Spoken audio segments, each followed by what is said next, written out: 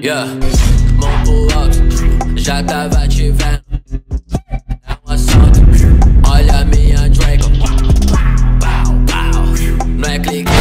Alright, so what is up, YouTube? Yeah, it's been a while. I was sick for a little bit. You can kind of hear it in my voice. but, um, I was sick for like a week, week or two. I couldn't, I physically couldn't talk. Like, I went to work and my voice, I wish, I wanted to take a video of it so bad, but I, I was just taking medicine, working a lot, going to school, so I didn't really have time. But let's just get right into this video. Today, it's not going to be like how my normal vlogs are where I bike or I just record what I'm doing for the day. Usually biking, but I tried to like steer away from that when I bought the drone. Oh my god. But um I want to talk about what everyone in the world has been talking about. Like probably a lot of people, not everyone in the world, but the MGK versus Eminem. Um, I'm not gonna lie, I'm a, I'm more of an Eminem fan. But when MGK dropped that, I was like, yo, like, cause it's not like I like. Well, obviously I like Eminem more than MGK, but I don't dislike MGK. Like I still think he's a good. When I heard his songs, I thought his songs were alright. I just never really listened to him again until now and his disc literally for a straight i think it was like four minutes and something seconds was just going off on him. But the only part of the song or the disc that annoys me is he keeps repeating the oh my god he keeps repeating the hook non-stop. That's all he does. He just uh, i forget how it goes. It was like uh like let's talk about it stuff like that. It was i don't know it was weird anyway, not not to get off track.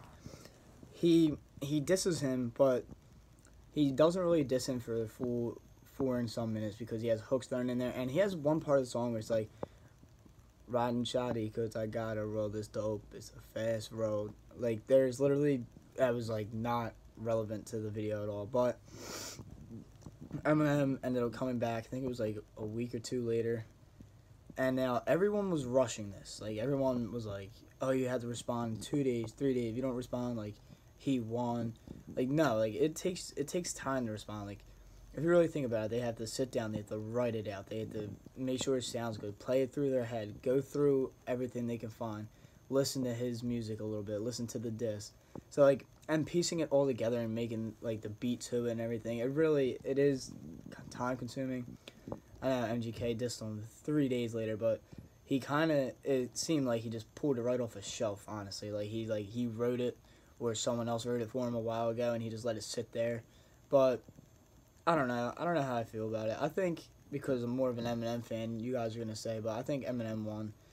Eminem is known for twisting his opponent's words around, just like and throwing it back at them. If you know what I mean. Like if you listen to his diss any other disses, you can you'll understand like everything that someone. All right, hold on.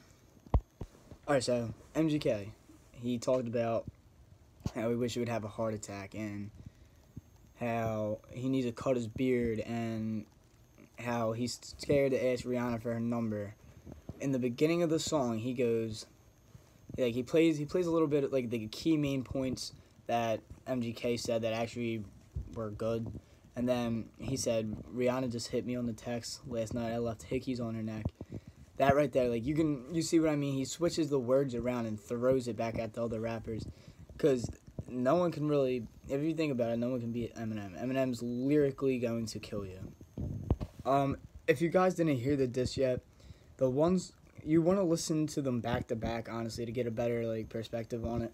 And I have one more thing to tell you guys before you even go listen to it. Stan in Eminem's song when he says "Stan, Stan, son, listen, Dad isn't mad." It's he's portraying MGK as Stan because MGK at one point was his biggest fan, and he's referencing he ref, referencing his little daughter as the little boy saying, um, "I made an autograph for your daughter. I wrote it on the starter starter cap." So, just want to throw that out there. MGK's disc is called Rap Devil. Most nine times out of ten, Eminem's disc will come up, but it's called Killshot. I'll I'll have in the video probably down here, um, pictures of them, just so like you guys know what you're looking for. But yeah, um, I just wanted to just wanted to talk about something, get something up. I know it's been it's been a while. I'm gonna start posting a lot more. So I hope you guys enjoyed this video. I'll see you in the next one.